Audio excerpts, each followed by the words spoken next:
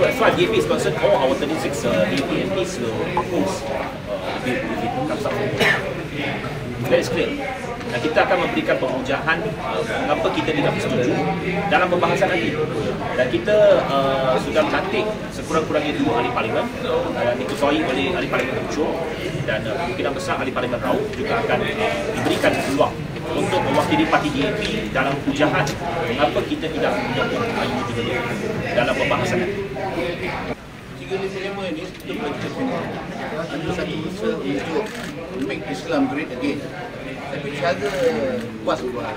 Kita tidak setuju tapi tidak setuju bukan bermakna kita anti Islam.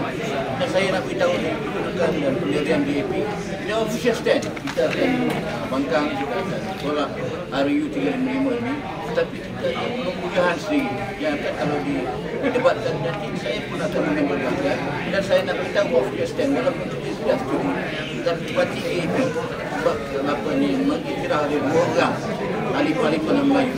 Beritahu kepada kita vote according to conscience dia tidak perlu untuk ikut parti dan kita sendiri dan kita mentantang jika dia beri peluang nanti kenapa kita tidak bersetuju sebab ada cara lain pada kita make Islam great again bukan ikut cara apa ni PAS ataupun UMNO sebab kita dengar you orang pun boleh tengok YouTube Haji Adi beritahu ini RU 35 ialah politik Islam dan uh, Zaid Hamidi beritahu di Terengganu ini untuk menyatu padukan orang Melayu.